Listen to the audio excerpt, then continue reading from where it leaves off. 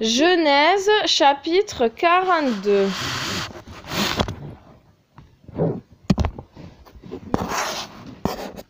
Or, Jacob, ayant vu qu'il y avait vingt en Égypte, dit à ses fils, D'où vient notre nonchalance Non, votre.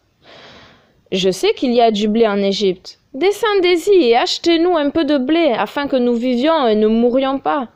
Et les dix frères de Joseph allèrent acheter du blé en Égypte. Mais Jacob n'envoya pas avec ses frères Benjamin, le frère de Joseph, car, dit-il, j'ai peur qu'une maladie ne le prenne en chemin. Les fils de Jacob allèrent donc acheter en compagnie de ceux qui partaient, car la famine était en la terre de Canaan. Bah oui, puisqu'elle était sur toute la terre. Bah. Or, Joseph était le chef de la contrée et il vendait à tous les peuples de la terre. Les frères de Joseph étaient, étant arrivés, se prosternèrent devant lui la face contre terre. À la vue de ses frères, Joseph les reconnut. Mais il ne se fit pas connaître à eux. Il leur parla avec m- même, il leur parla même avec sévérité. Et il leur dit, D'où venez-vous? Et ils dirent, De la terre de Canaan, acheter du blé. Joseph reconnaissait bien ses frères, mais il ne le reconnaissait pas. Il se souvint alors des songes qu'il avait eus, j'avais. et il leur dit Vous êtes des espions, vous êtes venus épier ce, que, ce qui se fait en la contrée. Et ils dirent Non, Seigneur, tes serviteurs sont venus acheter des vivres. Nous sommes tous fils d'un seul homme, nous sommes pacifiques, et tes serviteurs ne sont pas des espions.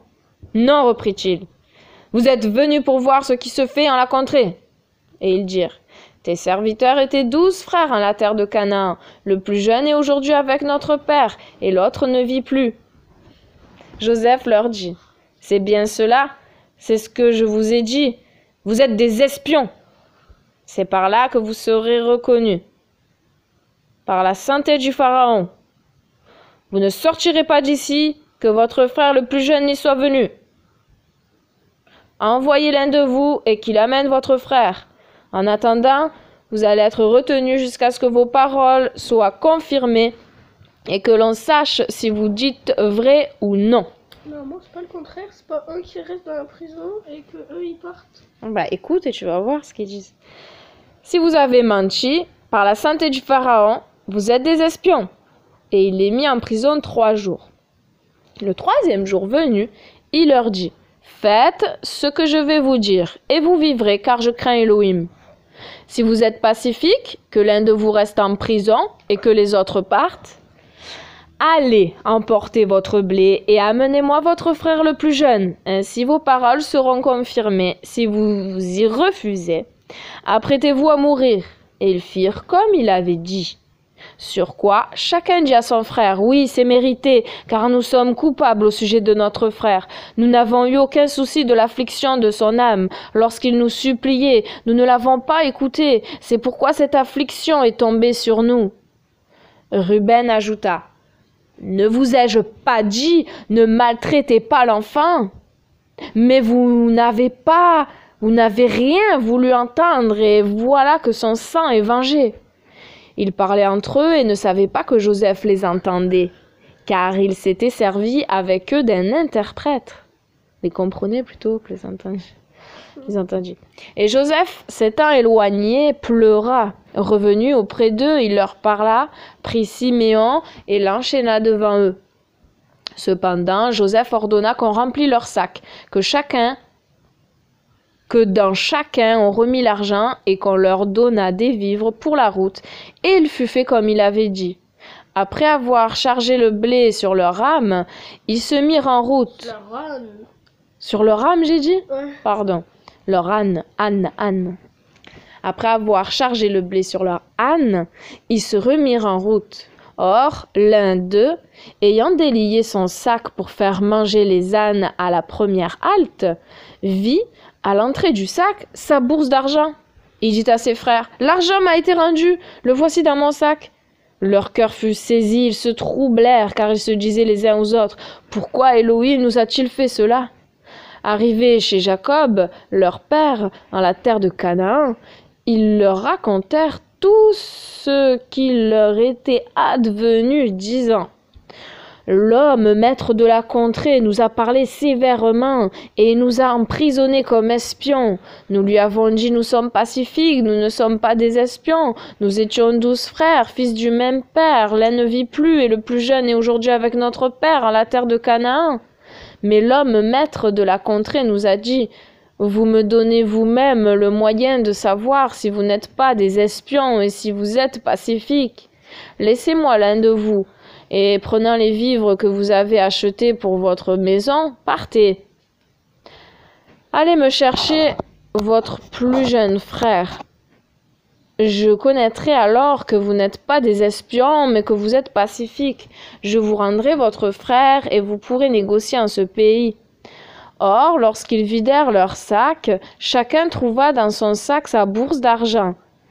Ils virent les bourses d'argent, leur père les vit aussi, et ils eurent crainte.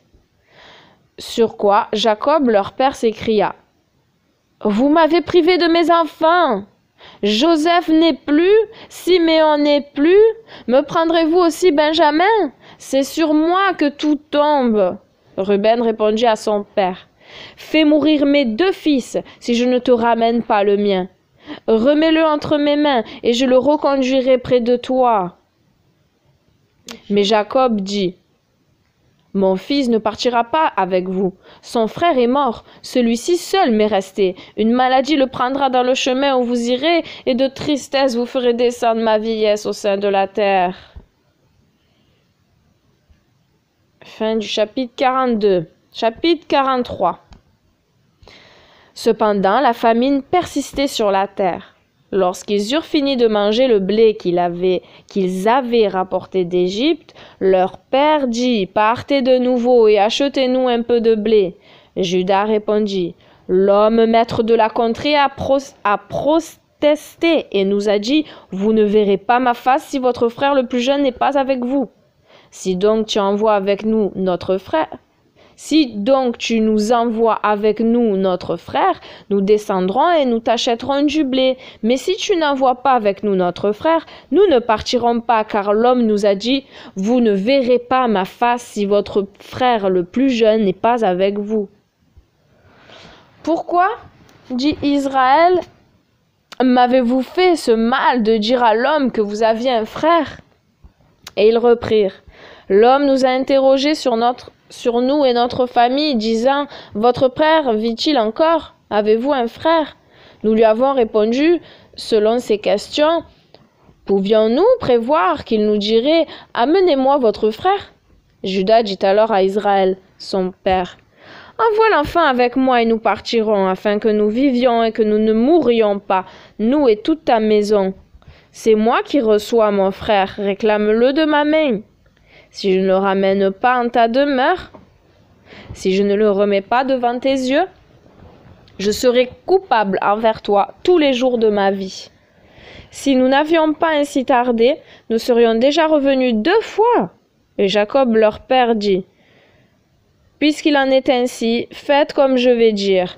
Prenez dans vos sacs des fruits de cette terre et portez à l'homme des présents de gomme et de miel, de gomme et de miel. Portez-lui de l'encens, de la térébenthine, de la myrrhe et des amandes. Emportez le double d'argent. Reportez celui qui a été retrouvé dans vos sacs, de peur que ce ne soit une méprise. Enfin, prenez votre frère et descendez chez l'homme. Qu'Elohim vous fasse trouver grâce devant lui. Qu'il renvoie votre frère qu'il a gardé et aussi Benjamin. Et moi, cependant, me voici comme sans enfant. Sans enfant ayant ainsi pris les dons et l'argent double, les hommes amenèrent Benjamin. Ils descendirent en Égypte, et ils parurent devant Joseph. Lorsqu'il les vit, lorsqu'il vit Benjamin son frère né de la même mère que lui, il dit à l'intendant de sa maison Conduis ces hommes, égorge et apprête des victimes. Ces hommes mangeront avec moi à midi. Les victimes, c'est la viande, Samuel. Le serviteur, fit ce qu'avait commandé Joseph, et il introduisit les hommes en la maison de Joseph. Or, les hommes, se voyant en la maison de Joseph, dirent entre eux Où nous amène ici Où nous amène ici à cause de l'argent On, pourquoi dit où On nous amène ici à cause de l'argent remporté dans nos sacs la première fois pour nous calomnier, mettre la main sur nous, nous faire esclaves et prendre nos ânes. Ayant donc abordé l'intendant de Joseph, ils lui parlèrent dans le vestibule de la maison, disant Nous te prions, Seigneur. Nous sommes venus une fois acheter du blé, et lorsque nous arrivâmes à la première halte, nous ouvrîmes nos sacs et l'argent de chacun s'y trouvait. Maintenant, nous rapportons en nos mains cet argent, du même poids. nous avons de plus, avec nous, d'autres argent pour acheter du blé. Mais nous ne savons pas qui a remis l'argent dans nos sacs. Il leur répondit. Elohim vous soit propice, propice. N'ayez pas de crainte. Votre Elohim, l'Elohim de vos pères, a mis des trésors dans vos sacs. Car pour moi, j'ai encore votre argent, qui est de bon à loi. Ensuite, il fit venir Siméon auprès d'eux. Il leur apporta de l'eau et lava les pieds. Il leur apporta de l'eau à laver les pieds, et il fit manger leurs ânes. Pour eux, ils apprêtèrent leurs présents, en attendant que Joseph vînt à midi, car ils avaient appris qu'ils se disposaient à dîner où ils étaient. Joseph entra dans la maison, et ils lui présentèrent les dons qu'ils tenaient en leurs mains, se prosternant devant lui, la face contre terre. Il leur dit Comment vous portez-vous? Puis il ajouta est-il en bonne santé, votre père, le vieillard dont vous m'avez parlé? Vit-il encore? Ils répondirent Ton serviteur, notre père, est en bonne santé, il vit encore. Il reprit Elohim bénit cet homme, et s'étant courbés, ils se prosternèrent devant lui. Alors Joseph, ayant levé les yeux, aperçut Benjamin, son frère, né de la même mère que lui, et il dit C'est là votre frère le plus jeune, que vous aviez promis de m'amener? Et il ajouta Et Louis m'ait pitié de toi, enfant. Aussitôt Joseph fut troublé, ses entrailles étaient émues à cause de son frère. Il avait besoin de pleurer, et étant entré dans sa chambre à coucher, il y pleura. Puis, s'étant lavé le visage, il revint et se maîtrisant, il dit Servez le repas. L'on servit des mets, à lui d'abord, puis à ses frères, à part, puis à part aussi aux Égyptiens qui dînaient avec lui, car les Égyptiens ne peuvent manger avec les Hébreux, c'est à leurs yeux une abomination. Les frères de Joseph étaient assis en face de lui, le premier-né, selon son droit d'aînesse, le plus jeune selon son âge tendre, et chacun était hors de soi en face de son frère. L'on apporta devant eux des parts que leur envoyait Joseph, mais la part de Benjamin était cinq fois plus grande que toutes les autres. Et ils, cinq fois plus que les autres. Et ils burent et ils se réjouirent avec lui. Fin du chapitre 43. Maintenant, le chapitre 44. Le chapitre déjà? On va lire jusqu'au 45. Genèse chapitre 44. Joseph donna ses ordres à l'intendant de sa maison, disant Fais remplir de vivres les sacs de ces hommes, autant qu'ils en pourront emporter, et que l'on place l'argent de chacun à l'entrée de son sac.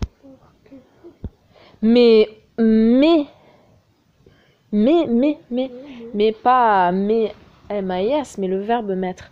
Mets aussi ma coupe dans le sac du plus jeune, avec le prix de son blé. Et tout ce que Joseph avait commandé fut fait comme il avait dit. Dès que le jour parut, les, les hommes furent congédiés avec leurs ânes. Comme ils étaient hors de la ville et pas encore très loin, Joseph dit à l'intendant de sa maison Lève-toi, cours à la poursuite de ces hommes, arrête-les et dis-leur Pourquoi rendez-vous le mal pour le bien? Pourquoi m'avez-vous dérobé la coupe d'argent? N'est-ce pas celle en laquelle boit mon, mon Seigneur? Il s'en sert pour deviner en prenant les augures. C'est bien mal ce que vous avez fait. Celui-ci les rejoignit et il leur répéta ces paroles. Ils répondirent Pourquoi notre Seigneur parle-t-il ainsi? Elohim préserve tes serviteurs d'avoir fait ce que tu dis. Si nous t'avons rapporté de la terre de Canaan l'argent retrouvé dans nos sacs, comment aurions-nous dérobé or ou argent dans la maison de ton Seigneur? Celui de tes serviteurs sur qui tu trouveras la coupe, qui soit mis à mort, et que nous, et que tous, nous devenions esclaves de notre Seigneur. Pas que c'était dans l'autre. Mhm. Soit, reprit-il. Il sera fait comme vous dites, mais celui-là seulement sur qui je trouverai la coupe sera mon esclave, les autres seront absous. Ils se hâtèrent, chacun descendit son, descendit son sac et l'ouvrit. Puis l'homme fouilla en commença par l'aîné, jusqu'à ce qu'il arriva au plus jeune, et il trouva la coupe dans le sac de Benjamin. Voilà. Alors ils déchirèrent leurs vêtements. Chacun remit son sac sur son âne, et ils retournèrent à la ville. Judas entra avec ses frères vers Joseph, qui était encore où il l'avait déjà vu, et ils tombèrent devant lui la face contre terre. Joseph leur dit Pourquoi avez-vous fait une telle action? Ne saviez-vous pas qu'un homme comme moi devine en prenant les augures? Judas repartit. Que que, répond, que répondrons-nous?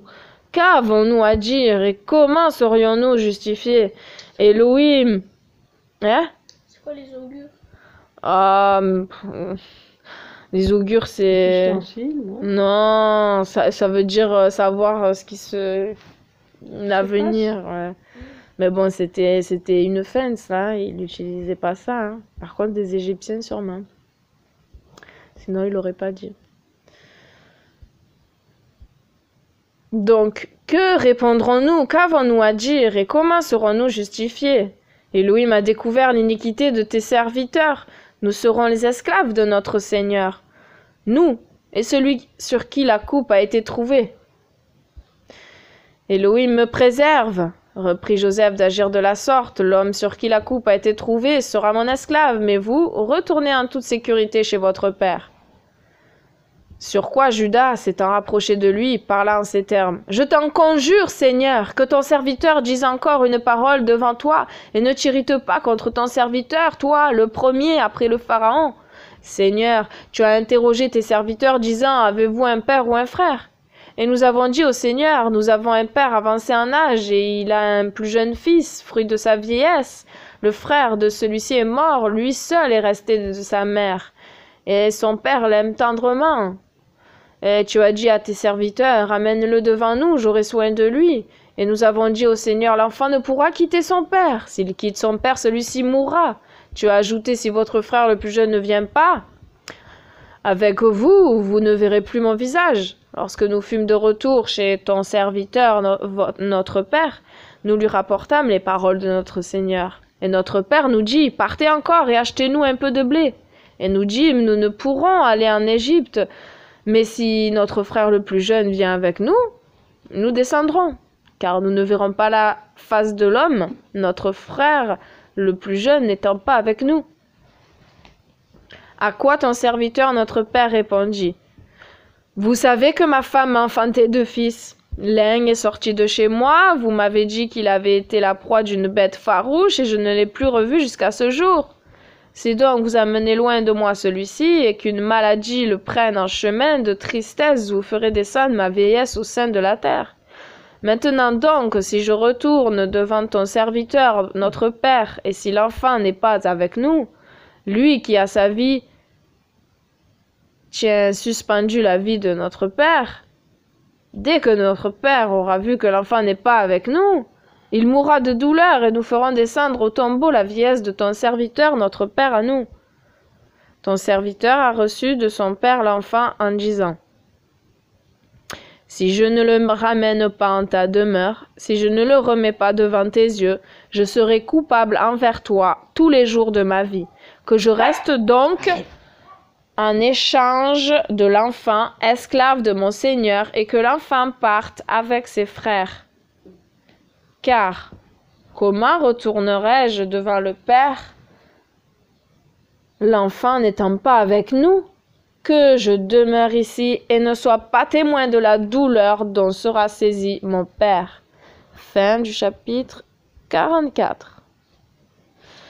Genèse chapitre 45. Cependant, Joseph ne pouvait plus se retenir devant tous ceux qui l'entouraient. Il dit donc que l'on éloigne de moi tout le monde, et nul ne resta près de Joseph lorsqu'il se fit reconnaître par ses frères.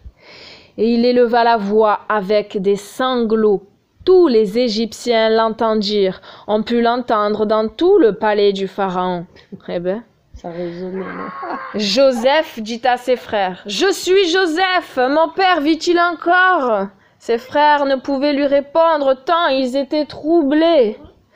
Et Joseph dit à ses frères, Approchez-vous de moi. Et ils s'approchèrent. Il ajouta, Je suis Joseph, votre frère, que vous avez vendu en Égypte. Ne vous affligez pas, qu'il ne vous paraisse pas douloureux de m'avoir vendu ici, car c'est pour notre salut qu'Élohim m'y a envoyé avant vous. Cette année-ci est la deuxième année de famine. Il y aura cinq ans encore sans labourage ni moisson. Elohim, en effet, m'a envoyé avant vous pour conserver votre race sur la terre et pour nourrir vos nombreux descendants. Ce n'est donc pas vous qui m'avez envoyé ici, mais Elohim qui m'a fait comme le père du Pharaon, maître de toute sa maison et chef de toute l'Égypte. Hâtez-vous de retourner chez mon père et dites-lui, voici ce que dit ton fils Joseph. Elohim m'a fait maître de toute l'Égypte. Descends donc auprès de moi. N'y mets pas de retard. tu habiteras la terre de, Gé- de Gézen d'Arabie, et tu seras auprès de moi, toi, tes fils, et les fils de tes fils, et tes brebis, et tes bœufs, et tout ce qui t'appartient. Là, je te nourrirai, car il y aura encore cinq années de famine, et tu ne périras pas, que ni tes fils, Ils sont partis deux fois, donc ils ont pris d'un. Ils ont mangé trop long, ils ont dû prendre beaucoup. Hein. et tu ne, ouais, et tu ne périras pas, ni tes fils, ni tes serviteurs. Vos yeux voient, et aussi ceux de Benjamin, mon frère, que c'est ma bouche qui vous parle. Annoncez donc à mon père toute ma gloire en Égypte et tout ce qui vous a tout ce que vous avez vu. Faites hâte et amenez ici mon père. En se jetant au cou de Benjamin, son frère, il pleura sur lui. Benjamin pleurant aussi sur le sein de Joseph. Et ayant embrassé ses frères, il pleura sur eux. Après cela, ses frères lui parlèrent. Le bruit s'en répandit dans le palais du Pharaon. Chacun disait Les frères de Joseph sont venus. Le Pharaon s'en réjouit et toute sa maison. Le Pharaon dit alors à Joseph Dis à tes frères, chargez vos ânes et retournez en la terre de Canaan. Prenez votre père et tout ce qui, ce qui vous appartient, Qu'est-ce qu'il voulait faire, Joseph hein? Puis venez auprès de moi, je vous donnerai de tous les biens de l'Égypte, et vous mangerez la moelle de la terre. La moelle? Ouais. Toi, cependant, ordonne qu'ils amenèrent des chars d'Égypte, qu'ils amènent des chars d'Égypte pour vos enfants et pour vos femmes. Dis-leur, prenez votre père et arrivez ici. Et ne songez pas à regretter vos meubles, car tous les biens de l'Égypte sont à vous. Ouais. Ainsi firent les fils d'Israël. Joseph leur donna ses chars selon les ordres du roi Pharaon, il leur donna des vivres pour la route, et il leur donna deux robes à chacun, mais à Benjamin il donna trois cents pièces d'or et cinq robes à changer. Il envoya à son père de semblables présents, avec dix ânes chargés de richesses d'Égypte, et dix mulets chargés de vivres pour son père pendant le voyage. Puis il les congédia ses frères, il congédia ses frères et il leur dit, N'allez pas vous... Ça veut dire que tu leur dis de partir, au revoir. N'allez-vous pas vous quereller en route, hein Ainsi, ils remontèrent à la terre d'Égypte et arrivèrent en la terre de Canaan, chez Jacob leur père. Et ils leur rapportèrent tout, disant, Ton fils Joseph vit. Et il commanda à toute la terre d'Égypte. Jacob, tout hors de lui, ne pouvait les croire. Alors ils lui répétèrent, ils lui répétèrent toutes les paroles que Joseph leur avait dites. Et lorsqu'il lorsqu'il eut vu les chars envoyés par Joseph, ses souffles se ranimèrent. Israël s'écria Grand est mon bonheur si Joseph mon fils vit encore. J'irai et je le verrai avant de mourir. Fin du chapitre 45 et fin pour aujourd'hui. Au revoir. Oh, c'est long. Et à la semaine prochaine.